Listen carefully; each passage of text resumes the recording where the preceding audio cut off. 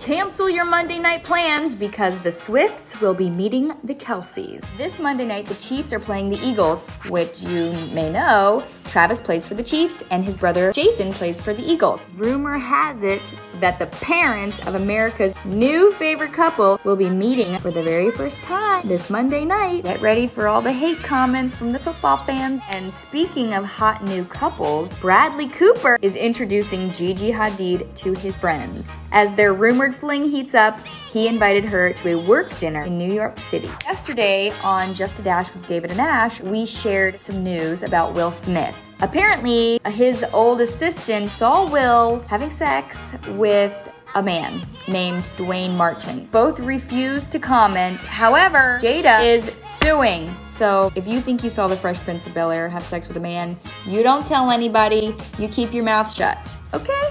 You will get sued. If you like to watch award shows, late night talk show host Jimmy Kimmel is returning as the host of the 96th Oscars ceremony. This marks his fourth time emceeing the ceremony. And that's your daily dash of news on November 16th, 2023. Happy Thursday.